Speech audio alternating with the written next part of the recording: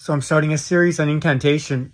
And, um, you know, if you think about it, everything starts with incantation. And uh, saying something, speaking, as, as soon as something can make a sound, it's alive. Uh, that's why, you know, when babies are born, they used to, I mean, I don't know if it was really true, but they used to spank them or do something like that so they would scream.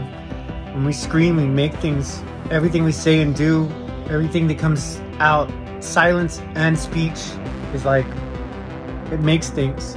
And uh, I'll show you how, briefly.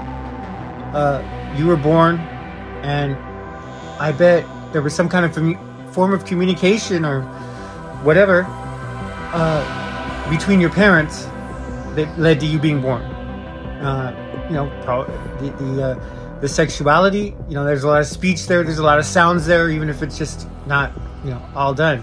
So, word made flesh speech made flesh, incantations, glossolalia, those anything, even silence.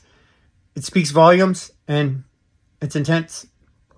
Uh, I'm gonna do, do a whole series and I'll probably do a podcast um, with uh, Alfredo and Doc Saucery on this. But uh, I'm doing some research on it now. So have a great day.